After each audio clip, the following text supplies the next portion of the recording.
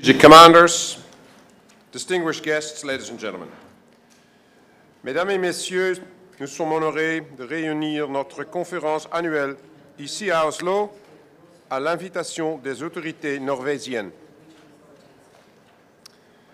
We're honored to convene our annual conference here in Oslo at the invitation of the Norwegian authorities. We have for the first time at our table the new Chief of Defense from Turkey, General Metin Gürak. Welcome to our club, and we look forward to hearing your contributions and advice. Then, on behalf of the whole Military Committee and invitee Sweden, I want to thank our hosts for the incredibly warm welcome and the generous hospitality, the gästfrihet they have shown us since our arrival. We extend our gratitude to the Minister of Defense, Mr. Bjørn Arild Gram. We are honored to have you in our midst today. And to our brother in arms, the Norwegian Chief of Defense, General Kristoffersen. Dear Eirik, thank you for all you and your staff have done to host 1,000 years of military experience here at this table. The Norwegian Armed Forces have always been a keen contributor to NATO's mission and operations, and I know that you yourself are a staunch supporter and initiator of cooperation between allies. To give an example, in the military advice that you published last May, the acronym NATO is listed 100 times in a 72-page document. And I think that gives a fair impression of how closely NATO and national are intertwined. And that brings me to the theme of this year's Military Committee Conference. Never before have NATO and national defense plans been so closely interlinked. The plans that allies agreed in Vilnius will impact the development of all our armed forces for decades to come.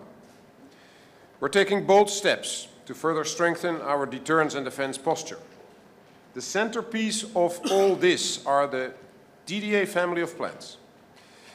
This includes the regional plans, which are geographically specific plans that describe how we will defend key and relevant places within our alliance. The regional plans are underpinned by objective, threat-based force structure requirements, which detail precisely which assets or capabilities are required in a crisis or conflict scenario. Needless to say, these plans and requirements are living documents they will be updated as the threats that face us develop. Meanwhile, we are decidedly turning them into action.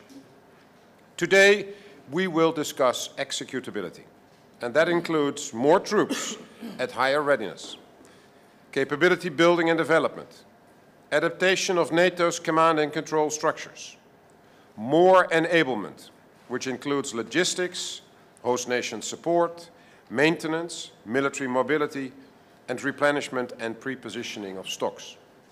And crucially, it involves more collective defense, exercise, and training.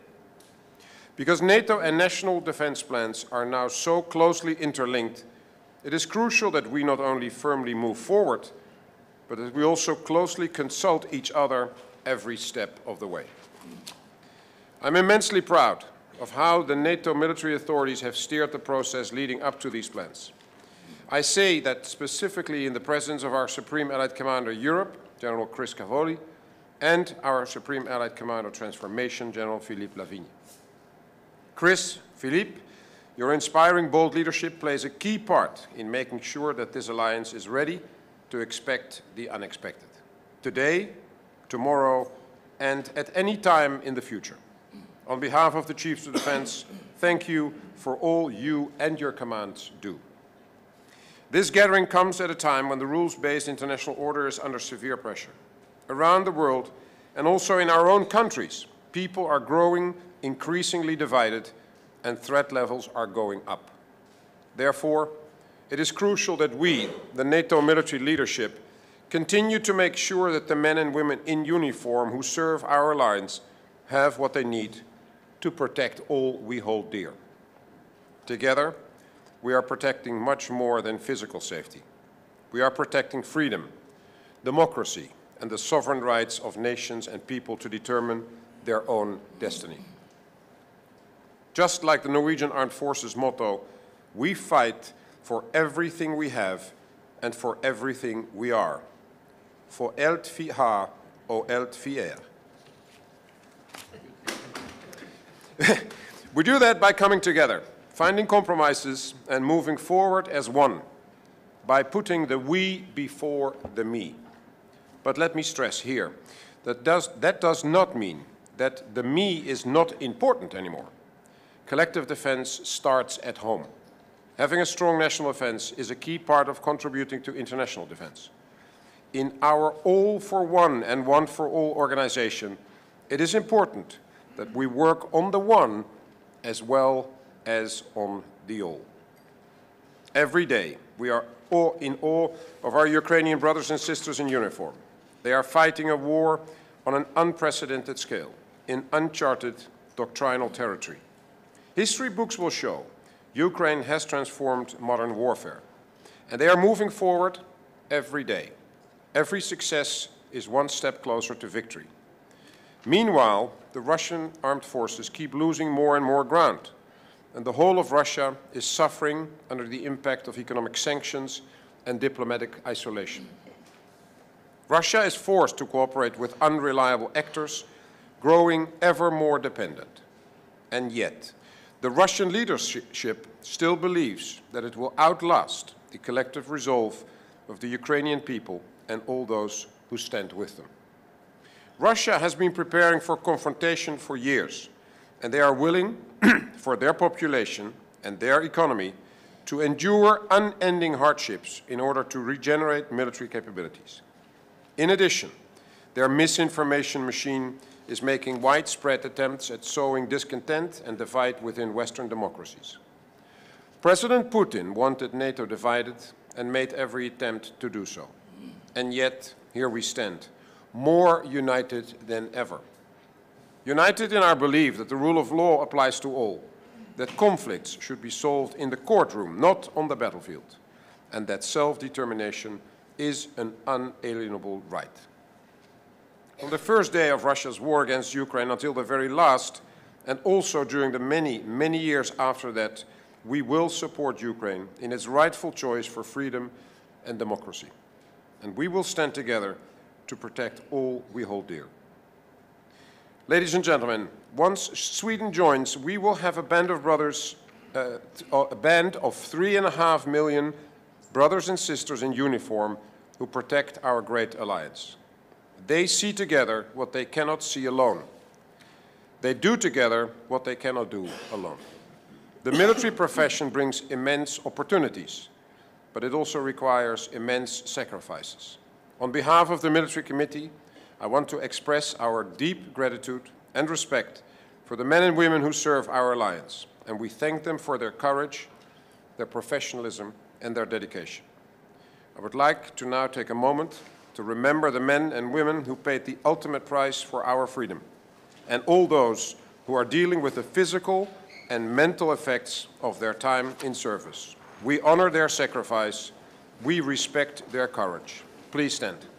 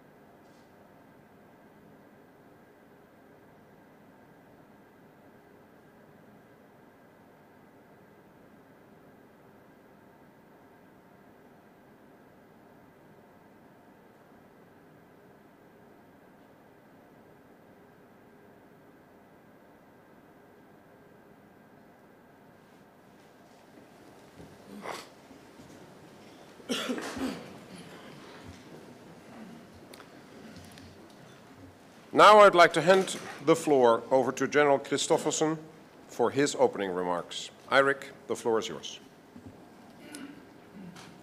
Thank you, Chair. Thank you, Rob, for your wise words. It is again my sincere pleasure to host you all here in Oslo, Norway. Uh, we started yesterday, and today the meeting starts uh, with the NATO Military Committee conference here in Holmenkollen. I am very pleased to have both neighbors, Finland and Sweden, here. Finland as our newest member, and Sweden, which will soon uh, become one. The integration of all Nordic countries in the NATO alliance is good for Norway, it's good for the Nordic countries, and it's good for NATO. In the years to come, we will develop new ways to defend and deter on NATO's northern flank altogether. And we meet here during times of war. Our Ukrainian friends are fighting for their homeland, for their freedom, for democracy, and for peace.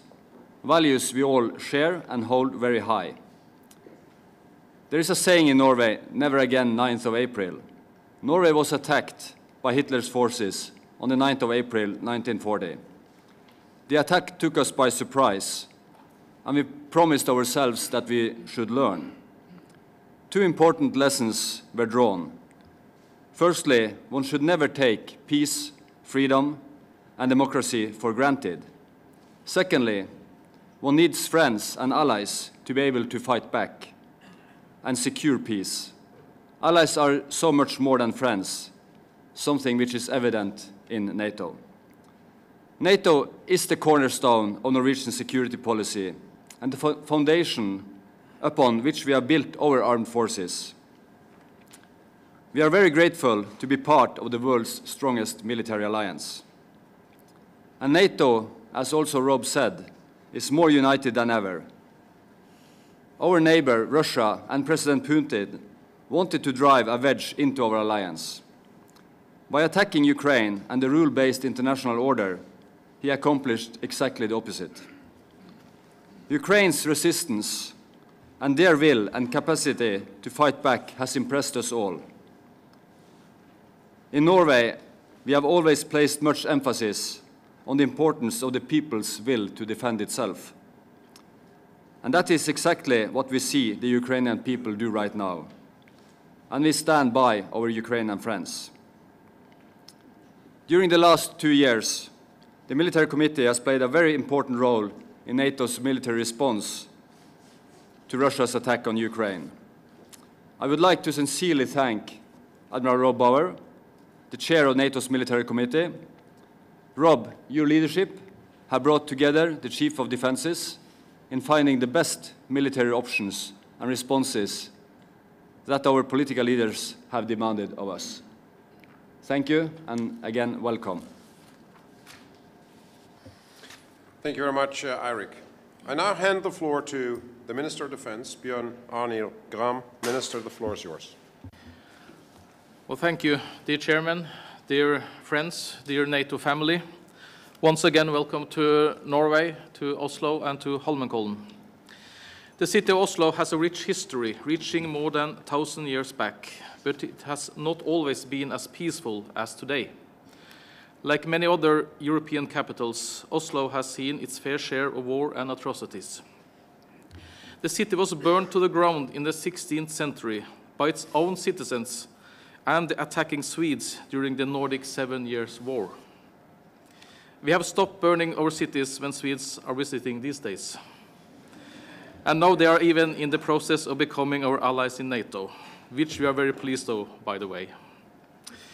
I would like to focus on four topics during these opening remarks. Firstly, NATO's key role in the High North.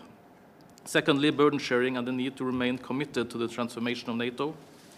Then Ukraine. And finally, the importance of securing full accession of Sweden.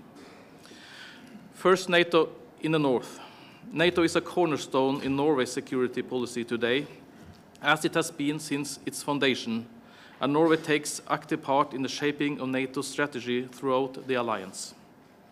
The relevance of the High North is steadily increasing as a stage for global competition. A large portion of Russia's nuclear capability is located at the Kola Peninsula, including its carriers. The importance of this capability has grown proportionally with the decline of Russia's conventional capability. The vast amount of natural resources in the High North is important to us all, not only Norway and Russia.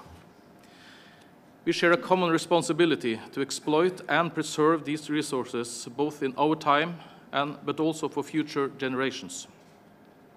In order to achieve that, the baseline is security and predictability. NATO is and will remain the most important security provider for peace and stability in the area. Our deterrence posture in the region will grow stronger as we are welcoming Finland and Sweden into the alliance.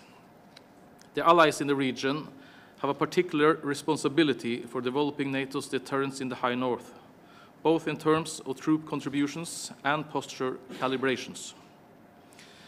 The deterrence posture relies upon not only, this, only sea lines of communication, communications, but strategic lines of communications. This includes infrastructure in space and on the seabed floor.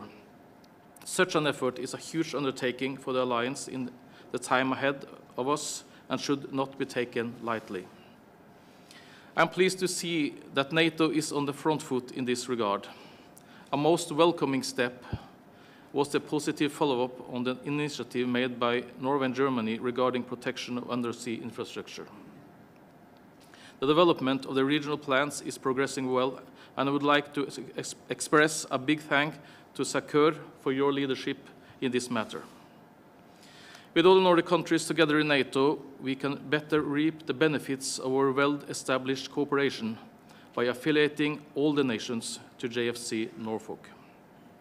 This recommendation is based on sound military advice from all the Nordic CHODs. Between the Nordic nations, there is a close dialogue on how the defense cooperation should develop to bolster not only the, the defense of this region, but also benefit the security of the alliance as a whole. Joint Force Command Norfolk is on a path of becoming the HQ capable of taking charge in the northwestern direction. We need to continue to bolster our effort to set the conditions for this to happen, sooner rather than later. Norway will do its part to ensure JFC Norfolk meet the requirements to command its regional plan, and SACEUR will have to decide when the time has come. Then burden sharing. Proper resourcing is essential for our collective defense modernization effort. Norway has committed almost our entire force structure at the Force Sourcing Conference. We also support broadening the use of common funding to meet new requirements.